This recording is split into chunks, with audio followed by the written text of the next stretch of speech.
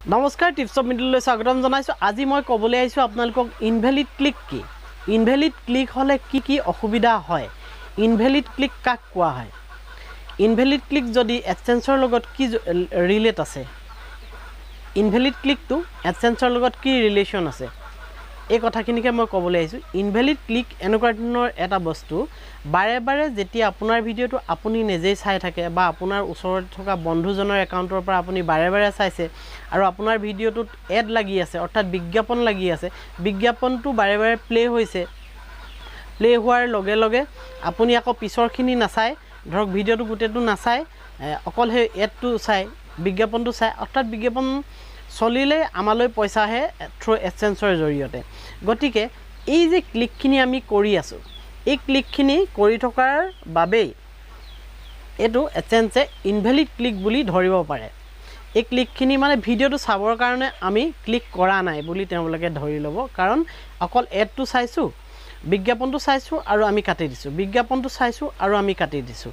এই কথাটোৰ কাৰণে তেওঁবিলাকে ইনভেলিড ক্লিক বুলি ধৰি ল'ব পাৰে। এই ক্লিকখিনি ভিডিঅ'টোৰ কাৰণে ভেলিড ক্লিক নহয় ইনভেলিড ক্লিক আমি ইউটিউবৰ পৰা টকা আৰ্ণ কৰিবৰ কাৰণেহে আমি ভিডিঅ'টো ক্লিক কৰিছোঁ এডভাৰটাইজটো চাইছোঁ আৰু এডভাৰটাইজটো চোৱাৰ পিছত তাক আমি কাটি দিছোঁ কটাৰ পিছ পিছত সেইটো ইনভেলিড ক্লিক বুলি ধৰে।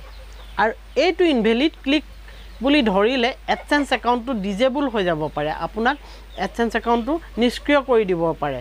বন্ধ হৈ যাব পাৰে।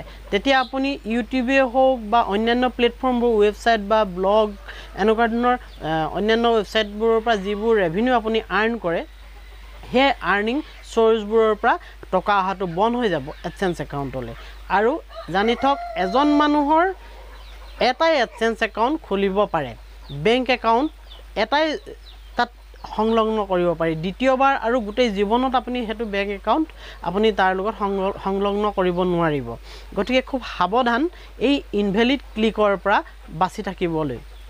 আৰু আপোনালোকে এই ইনভেলিড ক্লিকৰ পৰা বাচি থাকিব এনেকুৱা ধৰণৰ কামখিনি নকৰিব বাৰে বাৰে নিজৰ ভিডিঅ' নিজে চোৱা কামটো বা কোনোবা বন্ধুক আপুনি নক'ব যে বাৰে বাৰে মোৰ ভিডিঅ'টো চাই থাকা বা এডভাৰটাইজটো তুমি এবাৰ চোৱা আকৌ কাটা। এইখিনি কাম কৰিলে আপোনাৰ এডচেঞ্চ একাউণ্টটোত প্ৰভাৱ পৰিব আৰু এডচেঞ্চ একাউণ্টটো ডিজেবল হৈ যাব। এটা মাৰাত্মক কথা। মোৰ এনেকুৱা ধৰণৰ কথাবোৰ যদি আপোনালোকৰ ভাল লাগিছে তেনেহ'লে লাইক কমেণ্ট শ্বেয়াৰ আৰু ছাবস্ক্ৰাইব কৰি ৰাখিব। যদি ফেচবুক পেজত চাই আছে তেনেহ'লে লাইক বুটামটো টিপি ফ'ল' কৰিবলৈ নাপাহৰিব। আজিলৈ ধন্যবাদ।